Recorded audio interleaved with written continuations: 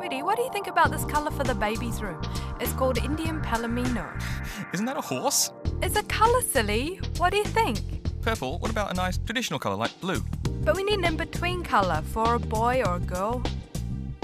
Don't be so boring. Look,